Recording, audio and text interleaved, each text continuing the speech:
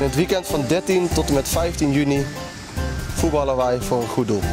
We spelen dan- voor kinderen zoals Demi, kinderen die lijden aan een spierziekte, waarvoor het eh, niet vanzelfsprekend is om te kunnen sporten, bewegen of te voetballen. NEC steunt dit mooie doel voor mijn oude club DVL. Een evenement voor jong en oud waar gezonde spieren bewegen voor zieke spieren. Doen jullie ook mee met het Land Outdoor Speed Soccer Tournament? Steun de stichting Spieren voor Spieren. Doe mee! Ga naar www.dvol.nl en schrijf jouw eigen team in. Dus doe mee!